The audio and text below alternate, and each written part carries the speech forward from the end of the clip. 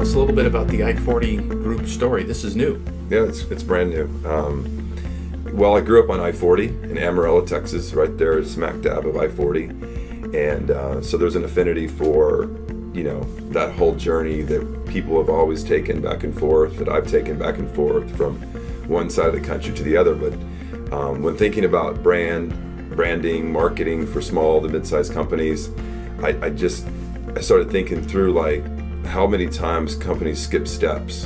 When you go in there and you do a brand audit, you find out how in the world did you get this branding, knowing what you're selling, knowing what you're saying you're selling, and then what your brand is communicating. It's like obviously someone skipped skip, steps.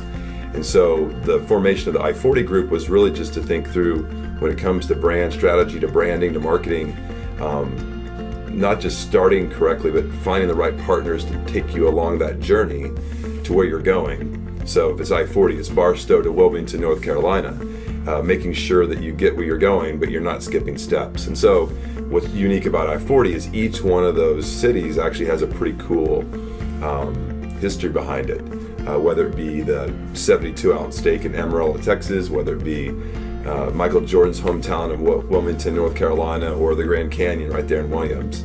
So I think that um, when I think of I-40, I think about a, a, journey that takes a small business from beginning to end with their brand and their marketing, but also having some fun times along the way, working with really smart people to get them where they're going. So it's a, it should be a journey for them, but done right, if that makes sense. Yeah, almost describes like a system and a process. Exactly. So you have a system and a process. You have to get on the highway, and you have to get.